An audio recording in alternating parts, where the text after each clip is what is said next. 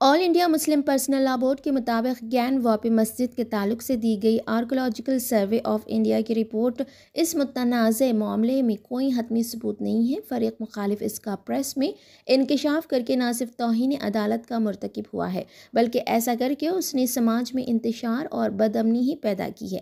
Board کے ترجمان doctor سید قاسم رسول الیاس نے ایک پریس بیان میں کہا کہ گین واپی مسجد کے تعلق سے ہندو فرقہ تنظیمیں کئی سالوں سے مسلسل عوام کو گمراہ کر رہی ہے اس کی تازہ مثال آرکولوجیکل سروے آف انڈیا کی وہ رپورٹ ہے جو اس نے عدالت میں داخل کی تھی اور کوٹ ہی کے حکم پر مدیان اور مدعا عالیہ کو فراہم کی ہے۔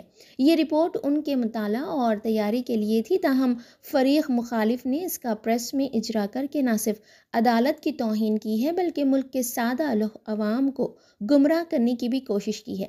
اسی طرح چند ماہ قبل جب سروے ٹیم نے ہاؤس میں موجود فوارے کو اپنی رپورٹ میں شبلنگ قرار دیا تھا۔ اس وقت بھی فریق مخالف اس کی خوب خوب تشہیر کر کے عوام کو گمراہ کرنے اور سماج میں بد امنی پیدا کرنے کی پوری کوشش کی تھی۔ حالانکہ ابھی تک ماہرین کے ذریعے اس کی تحقیق نہیں ہو سکی ہے اور نہ عدالت نے اس پر کوئی فیصلہ دیا ہے۔ بورڈ کے ترجمان نے آگے کہا کہ اس سے قبل بابری مسجد کے معاملے میں بھی محکمہ آثار قدیمہ نے بابری مسجد کے نیچے ایک عالیشان مندر کے ہونے کا دعویٰ کیا تھا۔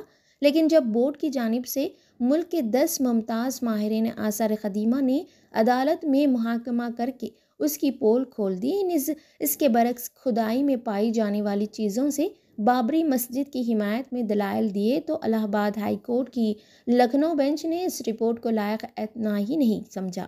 اور سپریم کورٹ نے اپنے مشاہدات میں کہا کہ کھدائی میں جو اشیاء ملی ہے، وہ بابری مسجد کی تعمیر سے چار صدیوں پیشتر کی ہے۔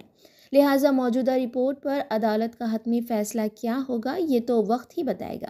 ہمیں یقین ہے کہ بابری مسجد معاملے میں جو حشر محکمہ آثار قدیمہ کی رپورٹ کا ہوا تھا، اس سے مختلف معاملے اس رپورٹ کا بھی نہیں ہوگا۔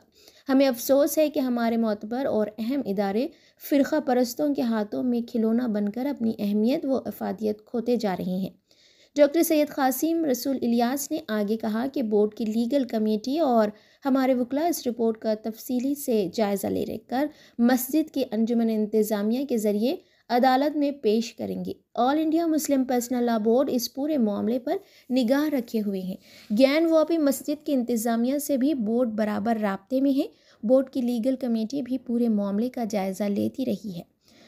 انشاءاللہ اس معاملے میں ہر ممکن کوشش کی جائے گی۔ مسلمانوں کو امید کا دامن ہاتھ سے نہیں چھوڑنا چاہیے اور اللہ تعالیٰ سے برابر دعا اور استغفار کرتے رہنا چاہیے۔